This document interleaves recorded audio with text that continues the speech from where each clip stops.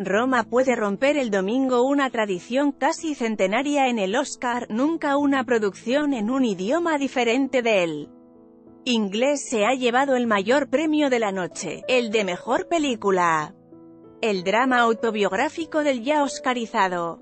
Alfonso Cuarón aparece como serio favorito, aunque los premios de los sindicatos de la industria, que sirven como termómetro, no han coincidido y los expertos sostienen que la competencia está abierta. La cinta, que ya ha arrasado con otros galardones,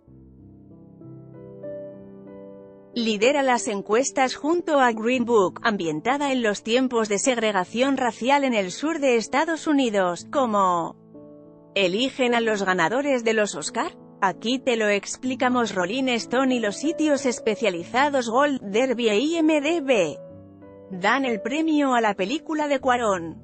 En ese caso un filme independiente, hecho en México y por mexicanos.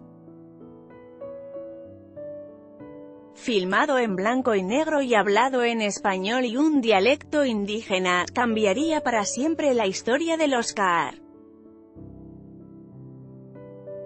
Roma, que llega al domingo con 10 nominaciones, relata la historia de las dos mujeres que marcaron la infancia de Cuarón, su madre, en pleno proceso de separación de su marido, y una joven empleada doméstica de origen indígena, embarazada.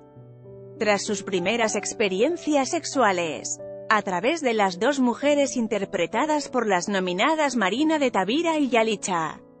Aparicio respectivamente la película ofrece un profundo retrato de los conflictos y jerarquías sociales del turbulento México de los años 70. No te pierdas Cine Girl Power. Películas protagonizadas por mujeres, las más taquilleras celebridades todos los Oscar llevan a Roma.